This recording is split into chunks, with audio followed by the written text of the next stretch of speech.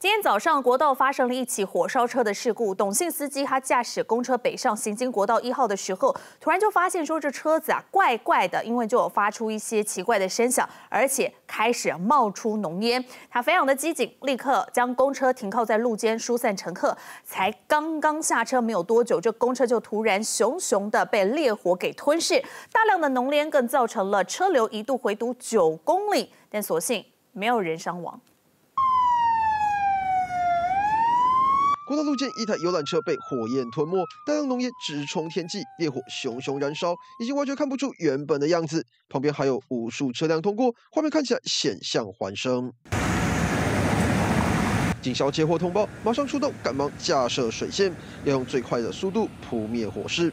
因为这边就在国道一号上，火烧车事件发生在上班尖峰时刻，旁边还有许多民众的车辆。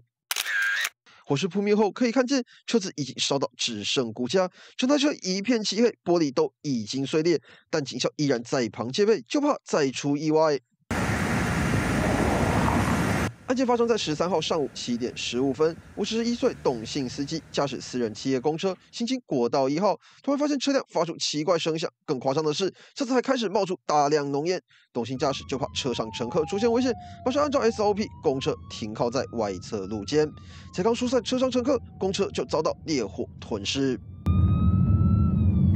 一部大客车行经国道一号高架北向三十六点八公里处。那驾驶发现车辆有异音并冒烟，立即将车辆停靠于外侧路肩，呃，疏散车上六名乘客。后续该车起火燃烧，所幸无人员伤亡。车辆起火当下，司机虽然有立即察觉问题，将车辆停靠路肩，没有影响到主线车道。不过大量浓烟还是造成国一高架车辆回度一度超过九公里，恐怕有不少民众因此上班迟到。记者郭平佑、侯宇翔，新北市报道。